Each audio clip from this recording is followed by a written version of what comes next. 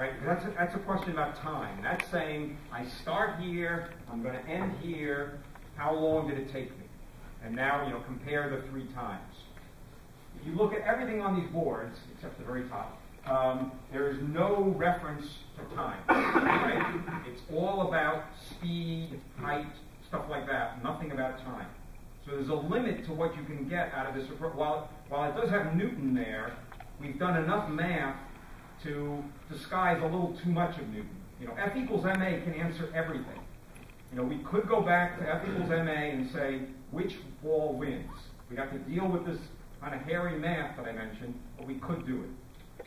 And actually, I should point out that what you can do if you want to deal with the hairy math is you can actually use a bit of math which uh, probably, if anything, you would learn more in economics rather than, I mean, we, we teach it for physics, but in terms of general stuff, it's actually more uh, useful in economics, is what's called the calculus of variations.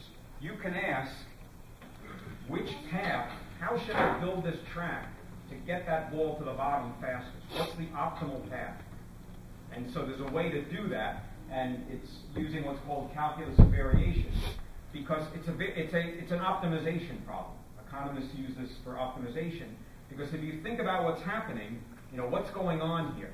What's going on here is here you've got an example. There's one back here of a very steep decline.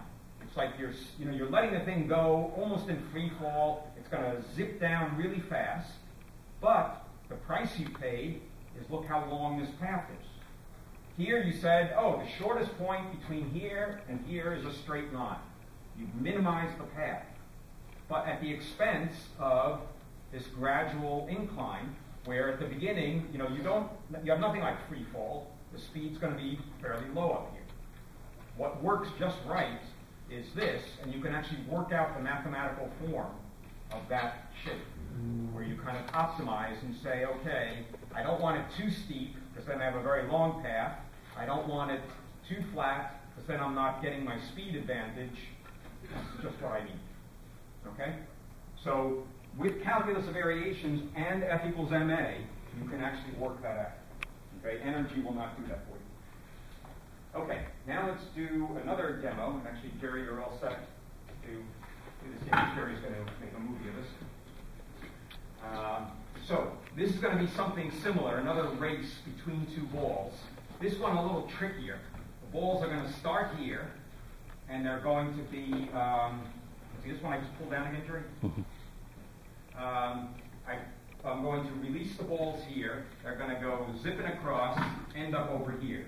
But what you want to notice is while they both go down these initial inclines, the um, one here stays on this flat track. The other one follows a longer path, down and then up again. The question is, which ball is going to win? Any, any guesses? I'm? They're going to tie. Okay, that's certainly a possibility. And, and you would say why? Why? You know, what's your intuition on why they would tie? Right, so you could imagine they're going to tie that even though this one's taking a longer path, right, we already, you know, all this MGH stuff we've been talking about tells us that when this ball is down here, me just move them ahead, when they're in this position, which ball is going faster?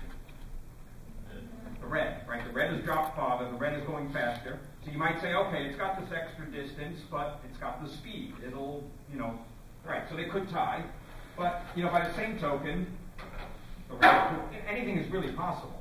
And it's really just a matter of how you build this thing and what will happen. So let's see what happens. So. Sorry, Ivan. Uh, the red one. Okay, one more time.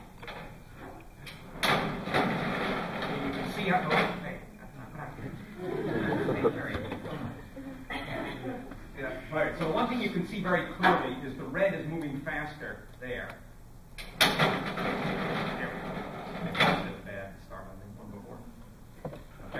But again, it's tricky. I mean, you could rebuild this, you could shrink this distance here, and then, you know, in that case, um, you would expect the, um, what would you expect? I don't know, any guesses? You play with this distance, what you would expect to happen? The longer the distance, the it would be. Just, just for a greater amount of time to. Right, exactly. Yeah, that's, that's what I was blanking out for a second, but better I ask you guys. Okay, so in other words, just to repeat uh, what David, uh, David said is, if you make this part longer, then the red will win by an even greater amount, right? Because it has more time use of its speed advantage. so, you know, in the end, the total distance that the red travels is unchanged, right? If I say that all I'm going to do is play with this segment, you know, this is this length is fixed, that length is fixed, so all I'm doing is changing how I take the total, you know, width of this thing and apportion it between the upper level and the lower level. Okay, so I can play with this lower level, I can imagine rebuilding this, and that will not change how far the red ball travels. But if I make this segment bigger, I'm letting red, you know, get more advantage, right? It's got a longer run where it can use its higher speed to win even faster. But then I could imagine shrinking it. You see, red in this setup didn't win by that much. So I could imagine shrinking it and getting it to the point where the red would actually lose.